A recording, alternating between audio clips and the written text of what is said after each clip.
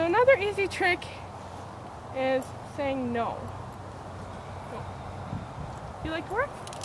Good girl. So again, I also use the Jackie Johnson method for this trick. It's really simple.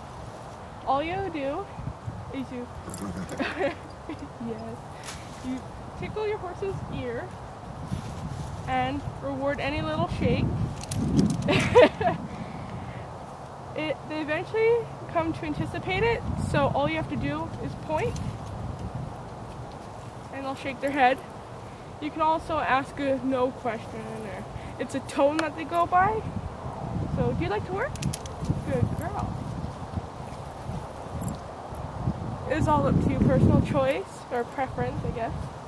Um, so that one's actually really easy. You can even start with that one.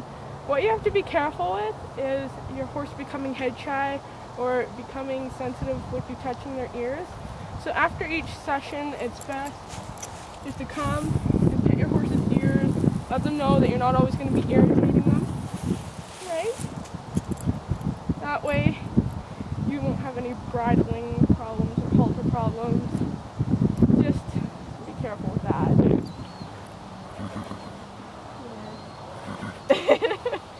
so, tickle your horse's, she already knows it, tickle your horse's ear, reward even the slightest shake, eventually ask for more, and then your cue will be to point.